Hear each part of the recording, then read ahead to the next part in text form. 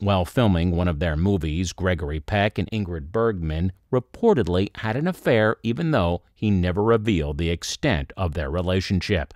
He was known to be the embodiment of the gentleman in his days. The public paid tribute to his natural confidence, and soon the handsome actor with a deep voice and pleasant face found himself among the most prominent male stars, being a masculine and handsome man as well as a guarantor of values and morals in his films. He caught Hitchcock's attention and was Ingrid Bergman's troubled patient in the movie Spellbound in 1945.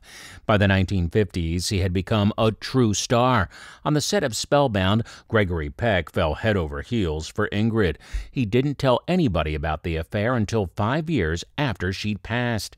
In an interview, he confessed, All I can say is that I had a real love for Bergman, and I think that's where I ought to stop. I was young, she was young.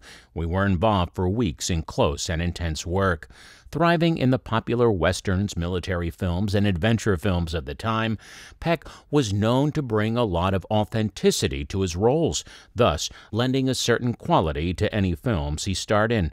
In 1942, just as Gregory's career kicked off, the actor married a Finnish beauty, Greta Kukkonen, and they had three sons together. Unfortunately, one of his sons committed suicide. Thirteen years later, the couple had an amicable divorce. However, they stayed friends till the last days. It was during the first marriage that he was allegedly accused of having an affair with Bergman.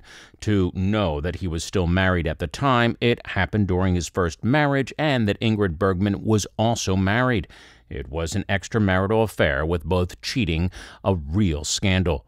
Bergman encouraged Peck privately and cheered him up because Bergman was a graduate from the Royal Swedish Academy of Drama, and he could also give him useful advice in terms of acting skills. As a result, the handsome men and beautiful women in their prime have more and more contacts, and they have more developed feelings on the set. What is even more surprising is that in the third month of the filming, Peck, who was unable to restrain himself, proposed to Bergman that the two should elope. Bergman was shocked. At that time, the two had their own marriage. If such a thing happened, the careers of the two would be ruined.